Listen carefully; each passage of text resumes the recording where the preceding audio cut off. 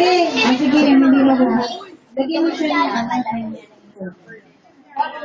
Yun, I think si Margo kasi absent. No, absent si Margo. Yun yun. Iintayin mo lang yung gift mo. Mamaya mo rin marireceive yung gift mo dahil mamaya ka rin magbibigay kay Dylan. Okay? Nakalimutan ni Kuya Norma. Bea, mamaya pag-usapan natin to, ha? Okay. Ah, Ate Kay, Ate Kay, nabunot na bata. Come over here. Come over here.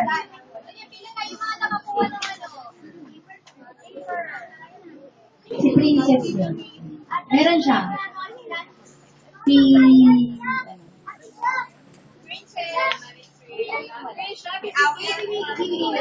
Nasaan yung kay Kuya Kaya?